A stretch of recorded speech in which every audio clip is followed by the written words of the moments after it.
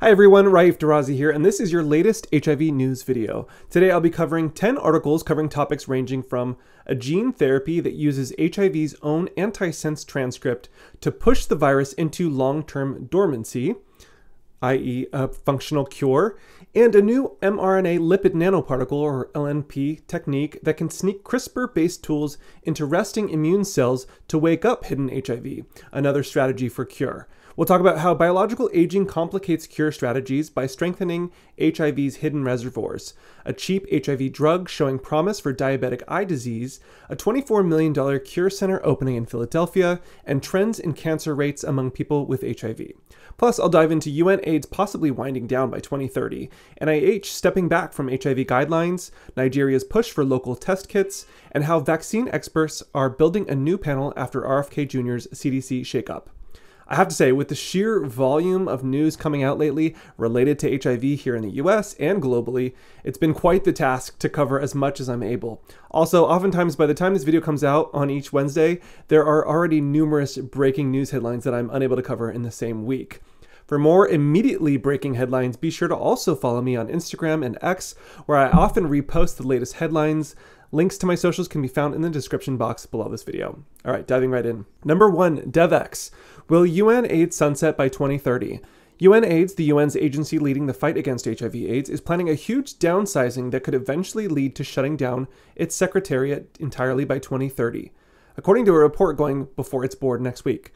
Facing shrinking donor funds, UNAIDS will cut its staff by 55% and move most operations out of Geneva by 2026, keeping just 20 people there while shifting work to cities like Johannesburg, Nairobi, Bangkok, and Bonn.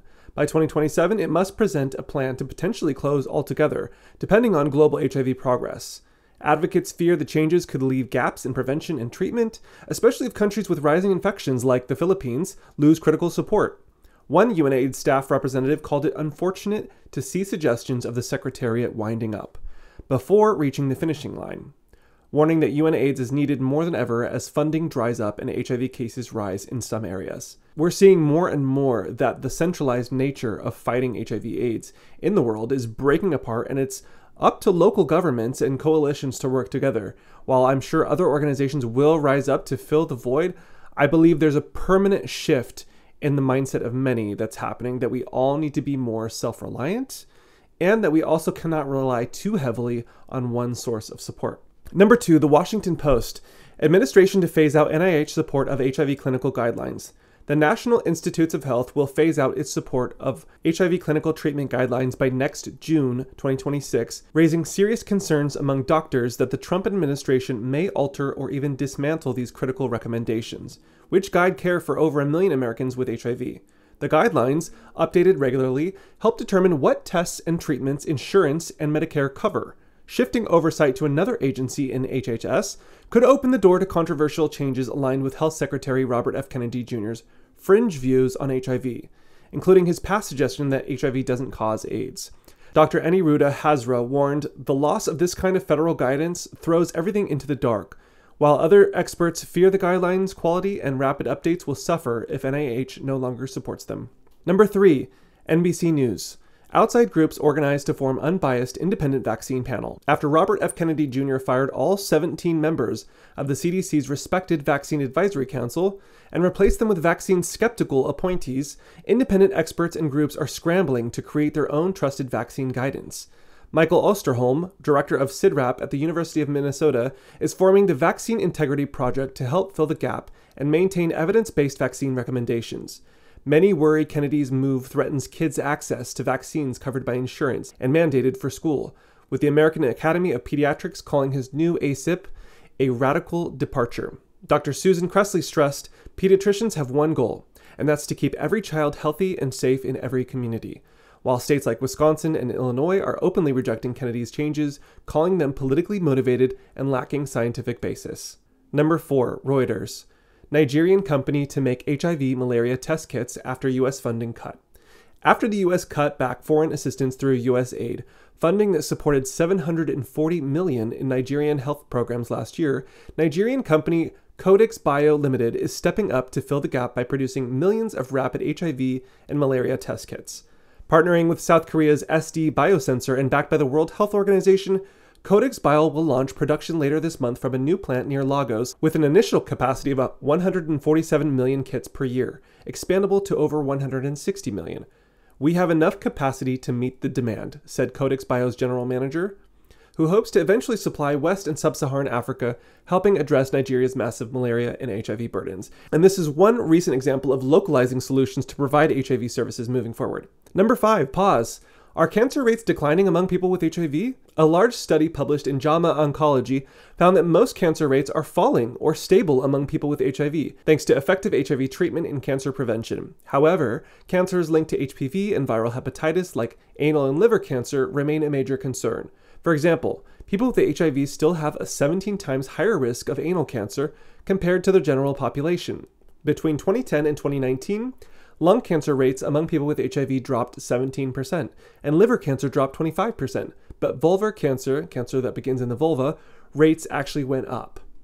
Researchers warned that as people with HIV live longer, cancer risks will rise with age, stressing that multi pronged strategies, including HPV vaccination, hepatitis treatment, smoking cessation, and better screening, are crucial to cut cancer deaths in this population. And as I've covered before, it's so important to not underestimate the power we have over our epigenome, which modulates our likelihood for developing various diseases. And our epigenome is heavily influenced by nutrition, sleep quality, stress, hydration, physical activity, mental well being, and so on. Number six, the Philadelphia Inquirer. Wistar is investing 24 million to find a cure for HIV.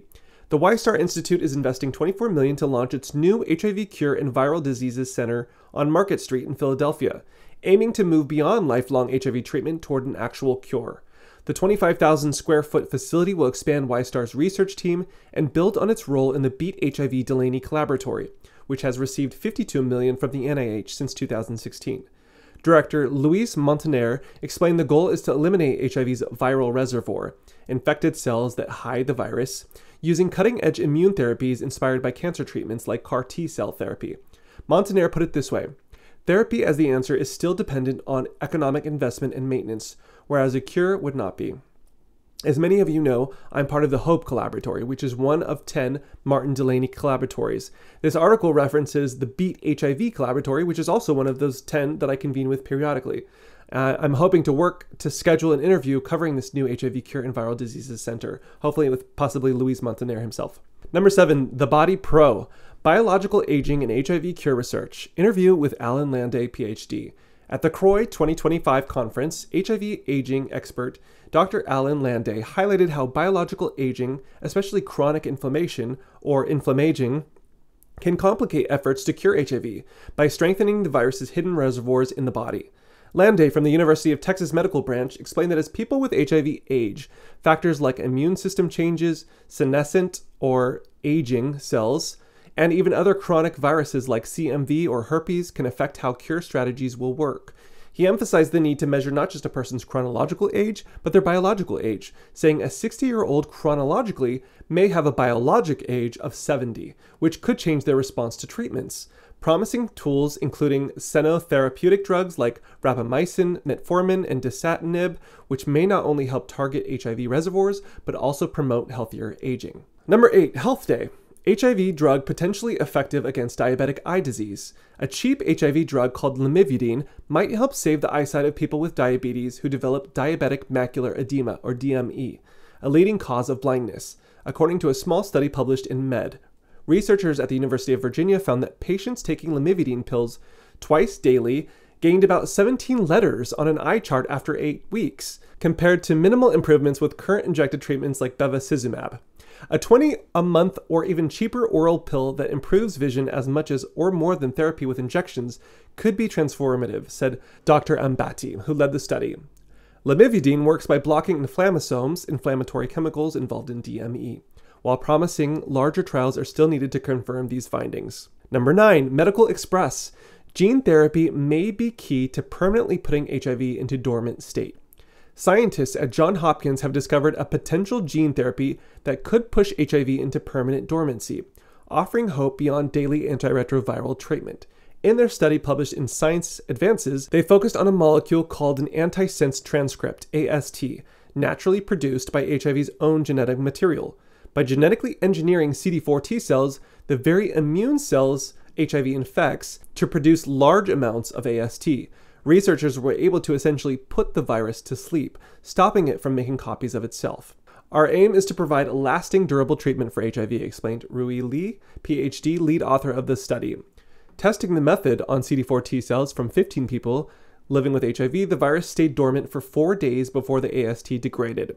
Current HIV treatments requires lifelong daily pills to control the virus, but gene therapy to boost AST production might achieve long-term viral latency in just a single dose. With nearly 40 million people living with HIV worldwide, this new approach could be a game changer. In recent weeks, I've covered various articles referring to the shock and kill approach to an HIV cure. This involves waking up all the HIV in our body out of latency. That way, HIV treatments can find all the HIV and kill it, thereby curing us of HIV.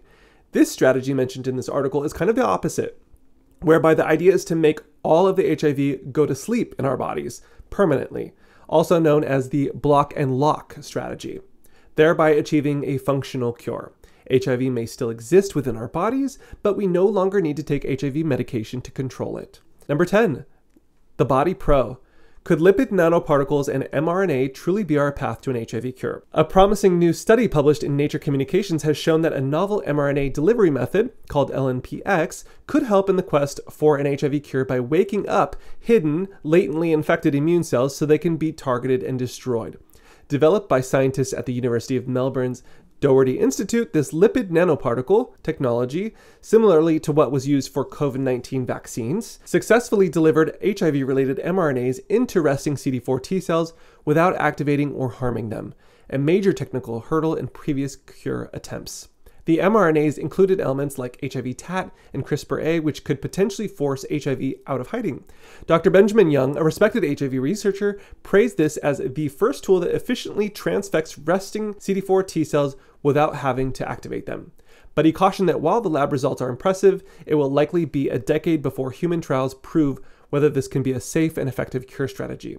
Until then, people living with HIV should keep taking their daily antiretroviral therapy, as this breakthrough is still many steps from becoming a real world treatment.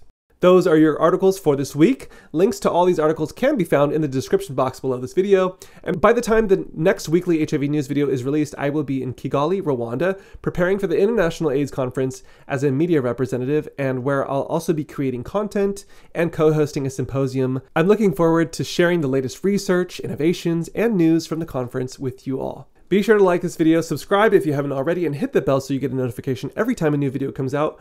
Share this with anyone who might find value in this content. Those are the best ways that you can help support me and my channel. Until next week, cheers.